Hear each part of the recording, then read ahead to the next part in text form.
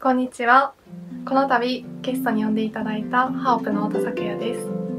今回の演奏会ではフルートとピアノにハープが加わり、様々な編成でいろいろな音楽をお届けいたします。